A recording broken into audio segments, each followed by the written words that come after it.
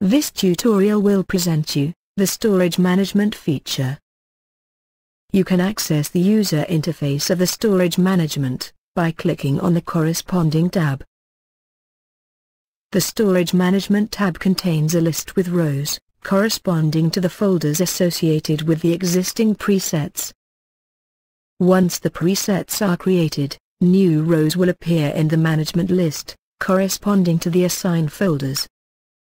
By default, the rows have no action selected, but you can assign a deleting action that will occur related to chosen conditions.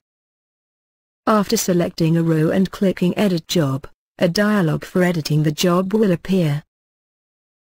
Only after selecting the delete action, you can choose one of the conditions and adjust the parameters.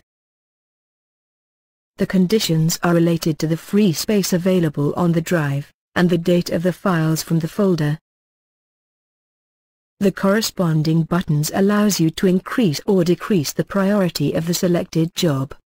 The jobs are executed from top to bottom, so the jobs from the top have an increased priority will be executed before jobs from the bottom of the list.